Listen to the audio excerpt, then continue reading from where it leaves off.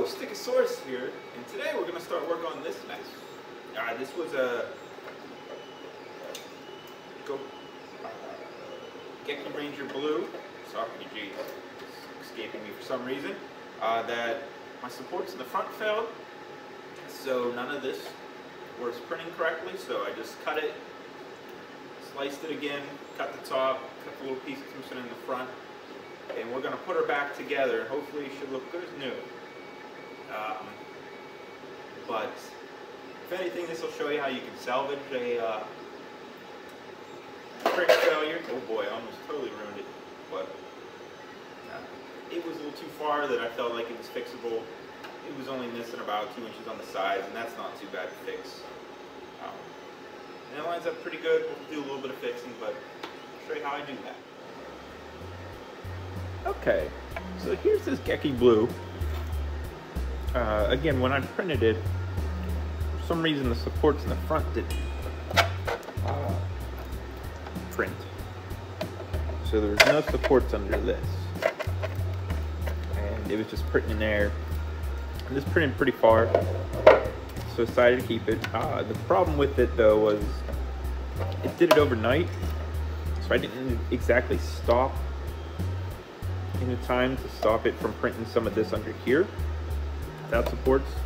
So the sides went up because this was fine, but nothing in the front here printed.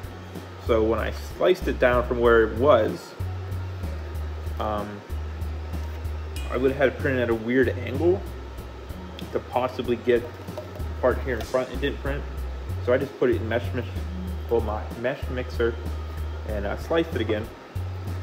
Got this little part and just printed this separately. Uh, not everything's gonna line up. It should be pretty close, hopefully. Uh, I mean, that looks pretty okay to me. You're gonna have seams. There's really nothing you can do about that, but we can fill those in, that's not a problem. Again, most people probably just uh, reprint this, but it's not a huge deal. Kinda, I like kind of see if I can make it look okay. You'll see my Soldier Green video. That one was in half, and I think it turned out okay. This one won't be as bad looking as that one. Uh, I didn't get all the supports off this yet. Because these ones, killing my hand. I don't know. But, so we're going to put this together. Try to. Now, I might have cut it a little too high when I printed the top part. So if we put it together here, it's just slightly off. But what we're gonna do is line the back up and anything like in here or right uh, where the visor is that doesn't quite line up. We'll just fill that in with a little bit of uh, epoxy sculpt. So we're gonna make sure the back's lined up though, because then the actual back of the helmet will fit if we if we line it up where the parts line up, see that overhang there? That's no good. So all I usually do for this is use a soldering iron. move this a little bit so you see better. Uh, I did have a wood burning tool. It died. It was just a cheap uh, Harbor Freight one for like $10. I need to get a new one because it lasts me a good while. But I liked that better personally we can make this work. Might tape the side here. Find tape.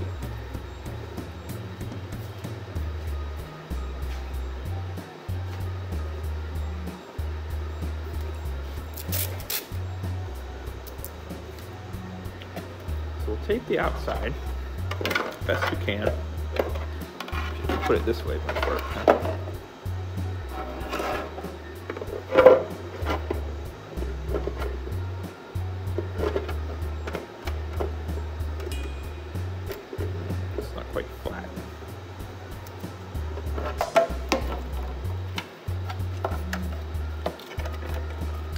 help you with this. It's a lot easier. Let me tell you.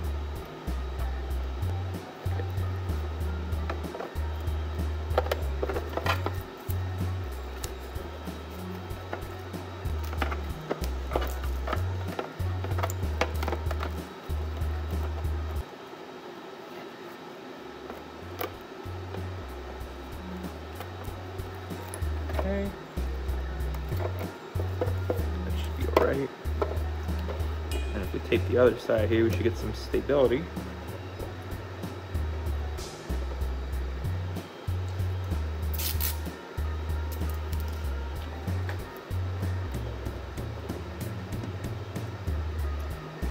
Things always want, want to line up. Uh, it could be that this shrunk a little bit. It's not as wide as it needs to be, but should make it work. So just be careful so it doesn't move. But that's what we're working with here. Now I'm gonna take soldering iron. I don't know if you can see in here, but right where it meets, we're gonna weld these pieces together. And we might go back in and add some more filament to the back here, melt some in, but this should be okay. I don't know how I can show you this. Um, so what we don't want to do is have this come apart again.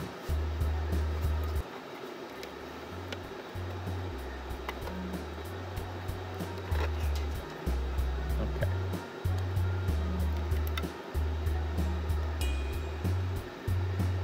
So right here is where our break is.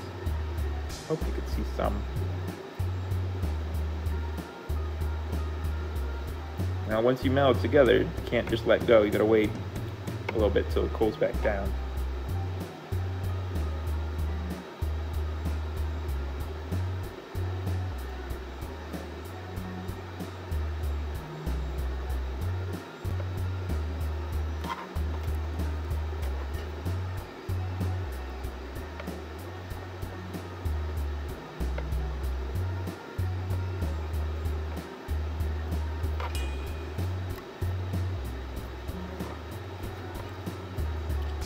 There you go, there's that.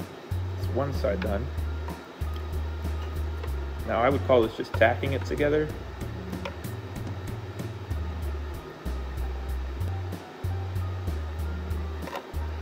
And you can also glue this together and then weld it.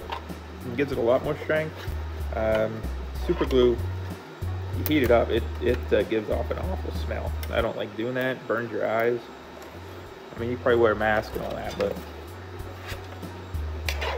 also don't know if it gives any more rigidity than this does. Let's see. See there. Here's our break right here. Now this didn't quite line up, so I had to push it together. And I can't let go of that pressure until it cools a little bit.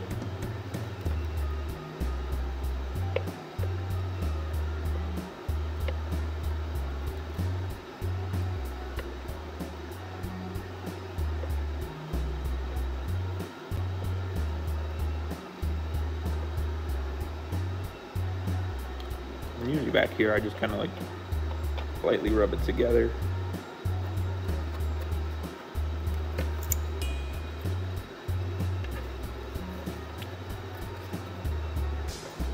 Let's see, we'll have the seam here. We can fill this, this shouldn't be a problem. There's this little bit here that didn't quite line up. We'll fill this in and try to taper that correctly. It's not a huge a lot of extra work. It is extra work, and it won't ever look as good as if you um, got it all printed in one piece, but it be worse.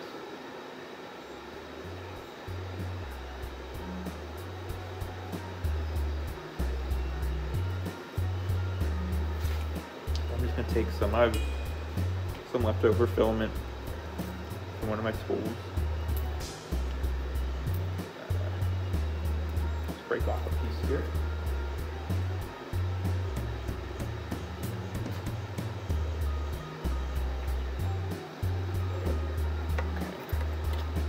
This might be hard for me to show with one hand, but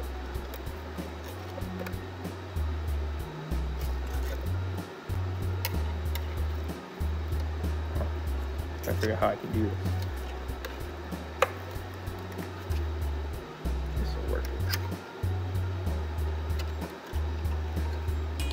So what we want to do, we're going to want to melt this into here.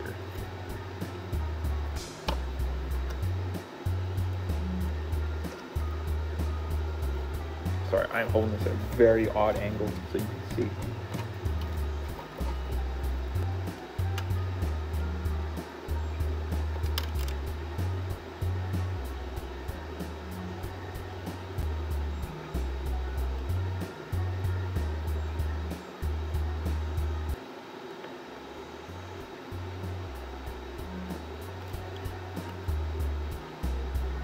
And when you do this, you're going to want to try spread it past where you um, welded.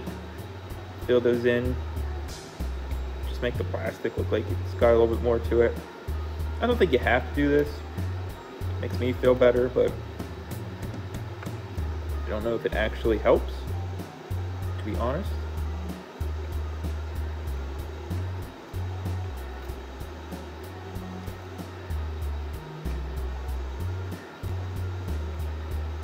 The inside of the helmet doesn't really matter as long as it's not something that's gonna poke you and hurt you.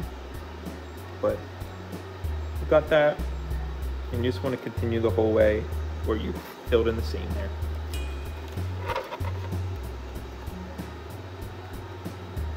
Little at a time.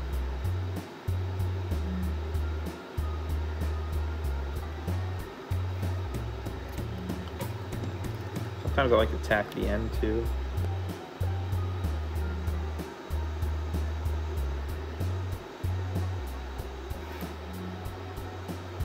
I've been having some stranding problems with this printer. I don't know if you can see all this in here. Um, if you ever have that issue, if you just take a heat gun, be careful about it, but just heat where the strands are, they'll shrivel up and melt real quick. Take care of most of that for you. You might get a couple like uh, tits and stuff on the inside, but you can usually get those off with an X-Acto knife or something. But let's see, that's all we want to do. Just try to make this a little stronger. Smooth it out a little bit. Again, ideally you probably have foam around this area. Maybe. Depends how this helmet fits. I don't know, this helmet looks kind of big. I mean, maybe not. I'm not sure. See, here's some of this stranding. It's kind of like cotton.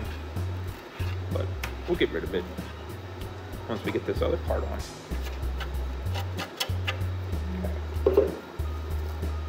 Now the other part we have,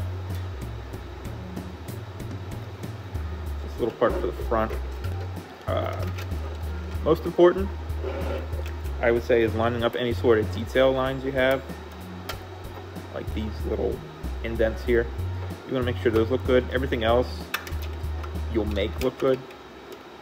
Yeah, but trying to sand these in so it looks continuous and all that can be real pain. So you want to make sure you get this uh, front part as close to lined up as you can. And then you'll make everything else just work.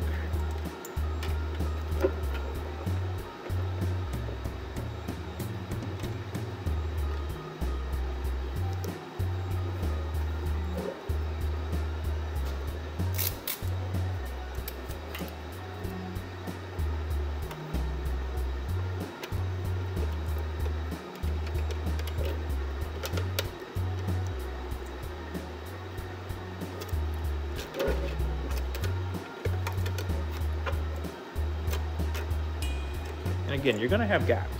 There's nothing you can really do about that.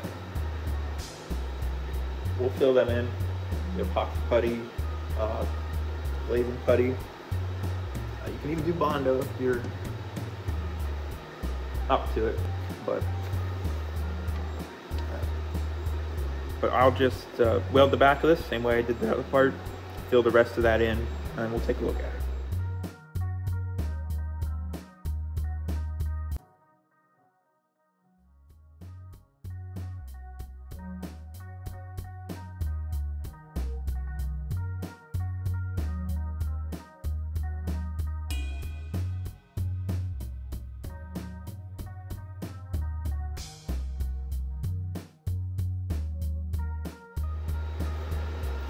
Okay, so there we go. It's all one piece. Back still fits nice.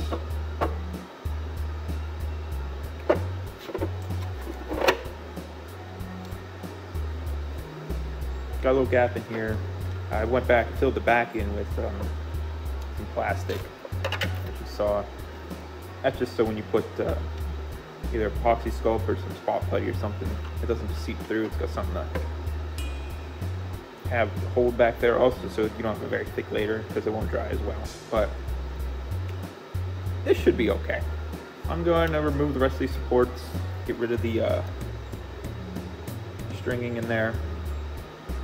Still got all the chin here. I kind of did that so it would be easier to stand up straight when I was doing this, but and then we'll fill in with either, haven't decided yet, thinking maybe some glazing putty, but we'll see. So that's next, gonna do that, and we'll see what it looks like. So I just filled in those gaps with some epoxy sculpt and then a little bit of spot putty over that. And then I just decided to hit it here with some 60 grit sandpaper and then we'll move over and do the whole helmet 100 grit.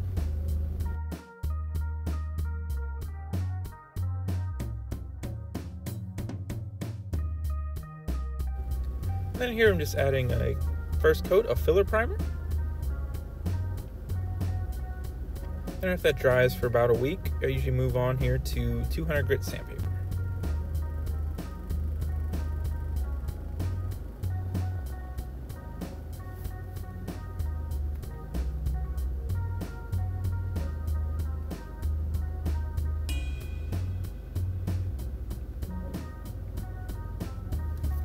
Then after that, I move on here and we do the second coat of filler primer. I usually go pretty thick with this coat. Then after that dries, it's time to move on to my favorite part, wet sanding.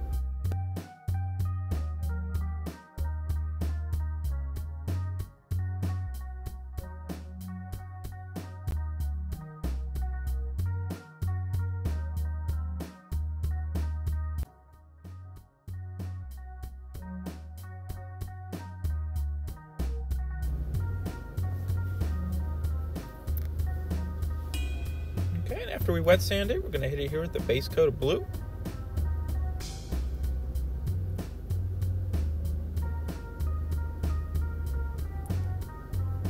Then we'll move on to the detailing. I'm just using a black acrylic marker to do the outlines and then filling it in with uh, brushed on black acrylic.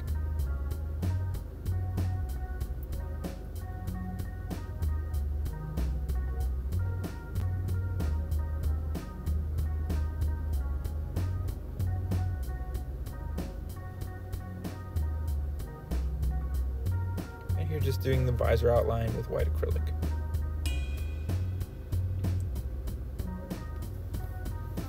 And if that all dries, we move on to the gloss coat here. And I do about two to three thick coats.